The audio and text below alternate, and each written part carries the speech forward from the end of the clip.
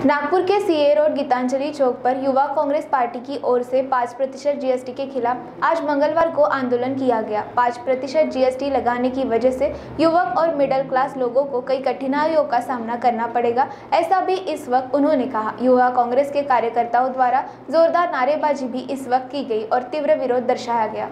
आज का जो हमारा भी मोर्चा है, ये जो कल मोदी सरकार द्वारा अनाज पे पाँच परसेंट लागू करी गई है तो ये इतिहास में कभी ऐसा नहीं हुआ।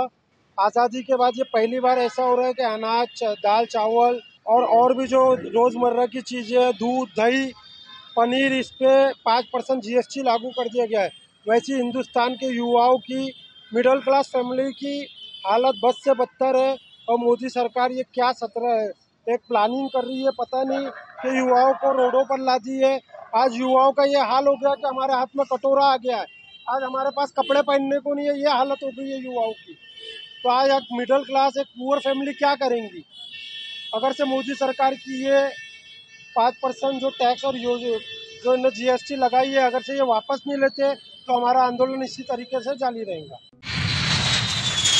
अपने सपनों की उड़ान भरने की इच्छा तो हर किसी की होती है। पर पंख भी तो मज़बूत होने चाहिए।